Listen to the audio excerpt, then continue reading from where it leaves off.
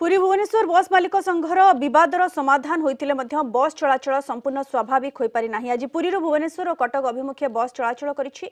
କିନ୍ତୁ ଭୁବନେଶ୍ୱର ମାଲିକ ସଂଘର ବସ୍ଗୁଡ଼ିକ ଯାତାୟାତ କରିନାହିଁ ଭୁବନେଶ୍ୱର ମାଲିକ ସଂଘର କେତେକ ବସ୍ ପୁରୀରେ ରହିଛି ତେବେ ପୁରୀ ବସ୍ ମାଲିକ ସଂଘର ବସ୍ଗୁଡ଼ିକ ସ୍ୱାଭାବିକ ଭାବେ ଆଜିଠାରୁ ଯାତାୟାତ ଆରମ୍ଭ କରିଛି ସେପଟେ କିନ୍ତୁ ନିର୍ଦ୍ଦିଷ୍ଟ ସମୟ ବ୍ୟବଧାନରେ ପୁରୀ ଭୁବନେଶ୍ୱର ଓ କଟକକୁ ଗାଡ଼ି ଚଳାଚଳ ପାଇଁ ଅଡ଼ି ବସିଛି ଭୁବନେଶ୍ୱର ମାଲିକ ସଂଘ